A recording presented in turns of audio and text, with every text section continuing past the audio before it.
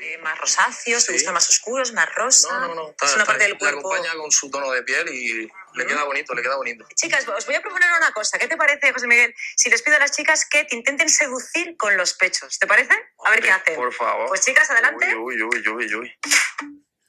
Uy, Ah, mira, bueno, bueno. Uy, uy, mira, mira. Una más tranqui. La de. La tercera, la roja. roja, Sí. Se lo está currando. Se, Se lo está currando. mucho, A ver, a ver la sensual. naranja que. La naranja tiene ahí un. Tiene un mira, mira, mira, mira. Tiene ahí un algo que, que me está subiendo la calor.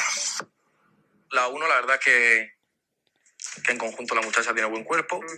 La dos también rosa. tiene muy buen cuerpo, finica, con un pecho de una talla apropiado a su. No sé.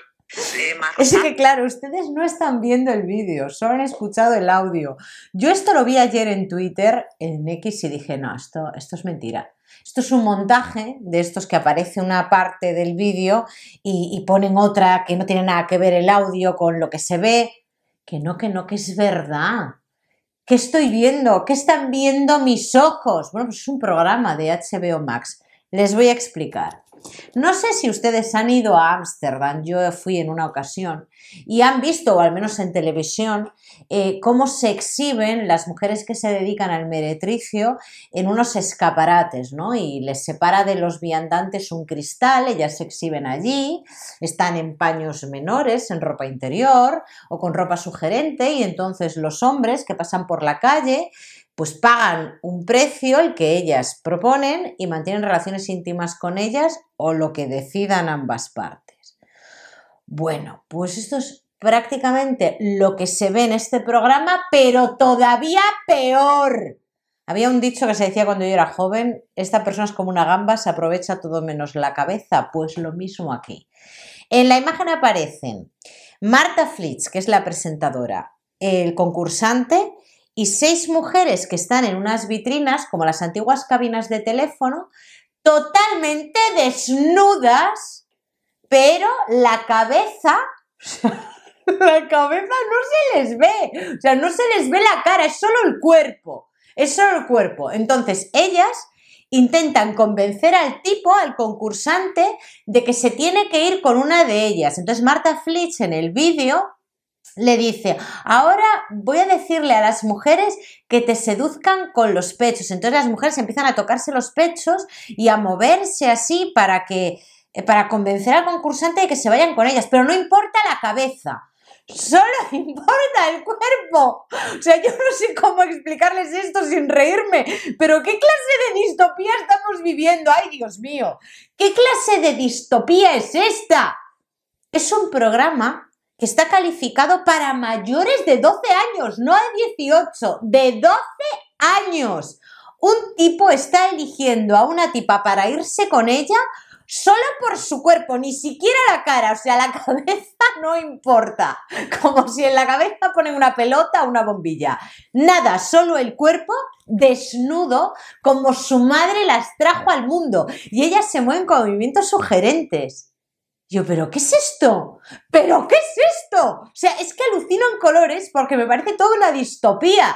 Desde lo de Rubiales, que le estén pidiendo pena de cárcel por el pico con Jennifer Hermoso, que se considera súper agraviada y que está recibiendo asistencia psicológica por lo menos, y que a la vez se estén emitiendo este tipo de programas y que la ministra de Igualdad no haya dicho nada es que por lo visto también está la versión de hombre a mujer, o sea, al revés, de, mujer que elige a hombres desnudos, donde tampoco importa la cabeza y solo el cuerpo. Y luego nos preguntamos qué está fallando en esta sociedad. Pero ¿qué clase de chiste es este? O sea, es que no puedo evitarlo. Solo se ha pronunciado el Instituto de Política Social pidiendo que se retire este programa, pero he visto las noticias y califican a este instituto de conservador y también de defensor de la cruz de los caídos. Vamos, por quitarle importancia.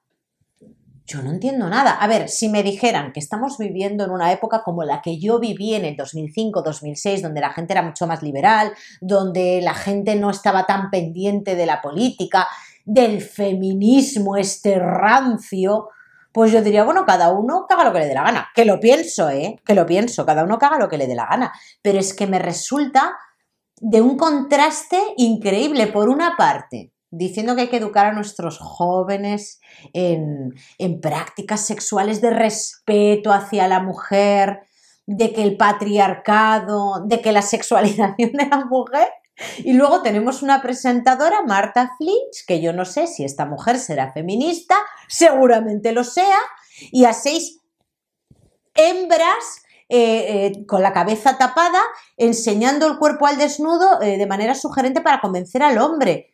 O sea, me parece de un contraste estremecedor. No entiendo nada. No entiendo nada. Díganme que no estoy sola en esto. El programa se llama Naked Attraction. Búsquenlo en Google. O sea, e, es que no me lo puedo creer. Yo ayer ya les digo que estaba viendo las imágenes y digo, esto, esto es una broma macabra. ¿Dónde está ahí eh, la conciencia feminista? ¿Dónde está ahí la cabeza de la mujer? ¿Pero qué es esto? Es que estoy anonadadísima. Tienen que ver un trozo del programa. Es que me parece me parece increíble que por una parte se esté adoctrinando a la gente joven y a los mayores lo intentan, diciendo no hay que agredir a las mujeres, las mujeres somos algo más que un cuerpo, la mujer y de repente un programa en el que la cabeza de la mujer no importa, ni la voz ni el cerebro, nada, solo su cuerpo desnudo moviéndose para ver el hombre con quién se va, con qué cacho de carne se va a su casa. ¿Y las mujeres que están ahí, qué les pasan por la cabeza? ¿A quién votarán esas seis mujeres? Vamos, yo espero que a Vox.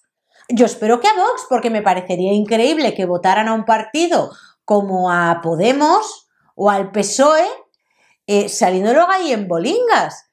Es que no lo entiendo. Yo de verdad que me he quedado alucinando. Es como, lo decía hace unos vídeos que yo creo que últimamente cuando se habla de educación sexual a los jóvenes se habla de prácticas sexuales, de tipos de orientación sexual, de cómo tocar aquí para obtener placer, de empezar a utilizar juguetes sexuales a una edad muy temprana. Nada que decir. Simplemente creo que se nos olvida la clave de todo esto.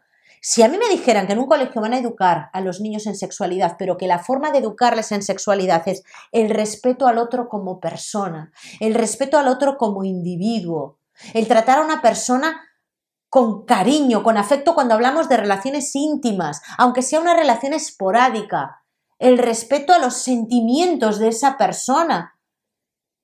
Oigan, yo estaría a favor de eso, aunque considero que esa educación se tiene que dar en casa pero creo que es la base para tener una relación sana con una persona con la que vas a mantener relaciones íntimas. Tratarle como un individuo, como una persona, como un ser sintiente. Eso que estamos reivindicando para los animales, pues lo mismo para el otro. Pero es que eso no, solo se habla de feministas anunciando el consolador último modelo, el succionador de clítoris, eh, las prácticas sexuales que tienes que tener tú solo, porque a Ángela Rodríguez Man le parecía horroroso que las mujeres prefirieran estar con un hombre antes que estar con una máquina, y que luego digan, ay, ¿qué está pasando? La, culpa es del contenido para adultos, ¿no? Ahora intentan decir que el problema del incremento de las agresiones es eh, el contenido para adultos. Y yo creo que no. Eso siempre lo hubo. Quizás el acceso ahora es más fácil que una persona joven con un móvil última generación pueda, y sin última generación pueda acceder a ese tipo de contenido, pero yo creo que la clave de todo está en educar en valores. O sea, en valores, pero ¿qué clase de programa? Es una plataforma privada, cada uno que vea lo que le dé la gana, pero me parece que como mínimo establecer un límite de edad de más de 18. Yo he visto series de televisión calificadas para más de 16 y no aparecen este tipo de escenas.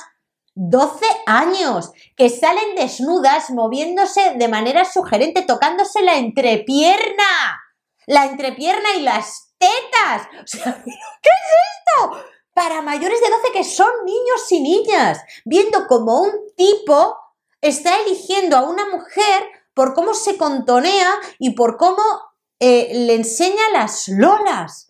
O sea, no quiero resultar muy conservadora, que no lo soy en este sentido, yo soy muy liberal. Cada uno haga, que haga lo que le dé la gana, pero es es increíble el contraste de lo que nos están diciendo a las mujeres adultas como yo, que nos llaman machistas, por decir que a mí me gusta que un hombre me abra la puerta o que me invite en la primera cita a una consumición y luego nos estamos tragando y viendo normal que un hombre, y me da igual, una mujer lo mismo, considere al otro como un cacho de carne. Es que un cacho de carne en el que no importa ni siquiera la cabeza, solo el cuerpo. O sea, yo estoy, de verdad que no doy crédito.